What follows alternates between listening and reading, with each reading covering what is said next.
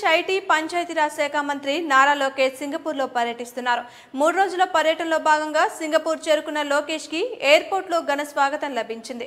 ఎన్ఆర్ఐలు ఏపీఎన్ఆర్టీ సభ్యులు స్వాగతం పలికారు. సింగపూర్ ప్రభుత్వం అందించే అరుదైన గౌరవాన్ని మంత్రి లోకేష్ స్వీకరించనున్నారు. సింగపూర్ ప్రభుత్వం లోకేష్కి ఎస్ఆర్ నాథన్ ఫెలోషిప్ ప్రకటించింది.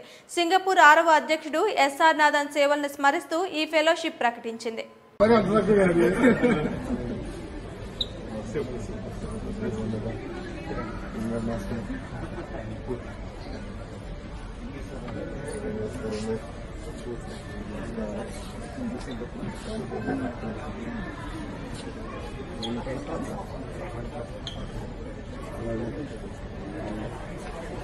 Hayır.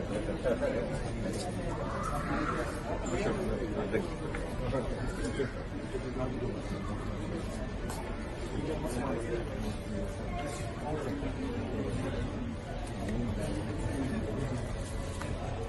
మళ్ళీ స్వాగతం